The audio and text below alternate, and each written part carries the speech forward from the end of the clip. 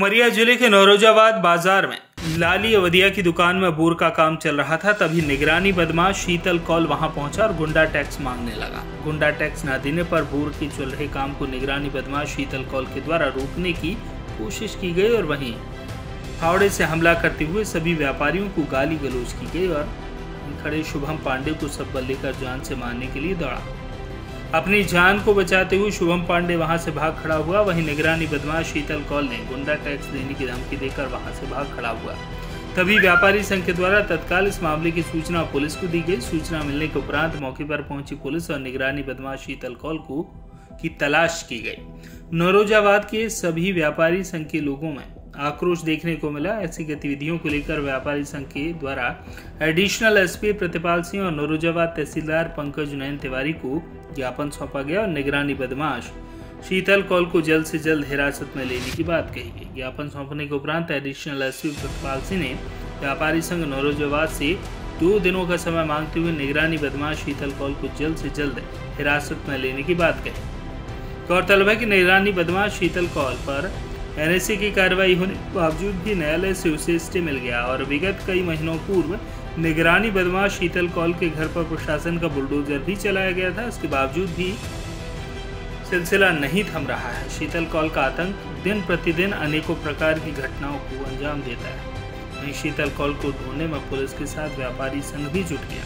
देखना यह, पुलिस प्रशासन के द्वारा निगरानी बदमाश शीतल कौल को कितने घंटों में गिरफ़्तार किया जाता है।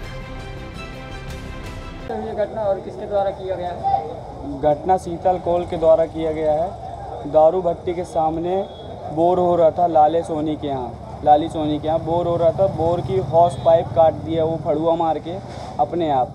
शिव प्रसाद का बोर था। वो अपने आप फड़ुआ मार के काट दिया बोर। हम लोग तो कोई वजह नहीं। नशे में था वो। और बोर क्या कुछ मांग किया था क्या? हम्म रिश्वत मांग रहा था उससे। पैसे मांग हाँ पैसा मांग रहा था। उसके बाद मैं आया हूँ तो मेरे को बोलता है तेरा चेला कहाँ है? मैं बोला मेरा कोई चेला नहीं है। फिर मैं जाने लगा तो मेरे को सब्बल लेके और दौड़ा दिया।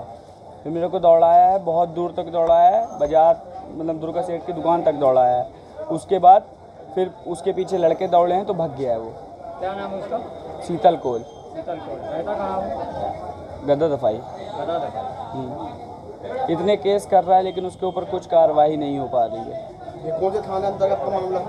नरोजाबाद। उसका क्या पूरा मामला है? ये शीतल कोल यहाँ का एक बदमाश है जो निगरानी बदमाश की सूची में है हमारे यहाँ।